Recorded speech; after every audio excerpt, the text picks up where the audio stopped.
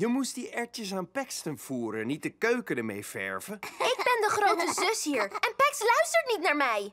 Maar jij moet ook naar Pax luisteren. Als je je in hem verplaatst, dan begrijp je hem beter.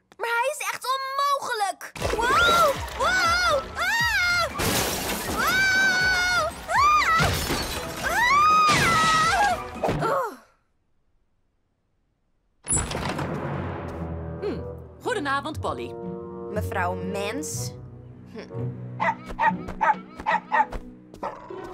En mijn liefste Smitty is er ook. Oh, hallo mevrouw Mens. We hoorden u niet binnenkomen. Polly, je hoeft je geen zorgen te maken over Pax. Mevrouw Mens komt vanavond op jullie passen. Maar ik wil ook graag met jullie uit eten. Sorry, liefje, we gaan met z'n tweeën.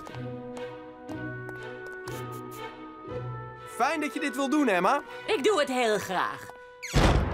Vooruit, jonge dame. Begin jij maar eerst aan je huiswerk en... Ben je er klaar voor, Polly? Ik kom eraan, hoor. Dat dacht ik niet. Maar van mama mocht ik Laila gaan helpen met haar nieuwe hondenuitlaatservice. Nou, dan lijkt het me niet meer dan normaal. Het lijkt me niet meer dan normaal dat deze service mijn kleine Smitty ook meeneemt.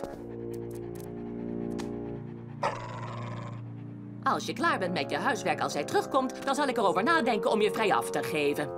Maar mijn huiswerk hoeft pas over een paar dagen. Geen gemaar.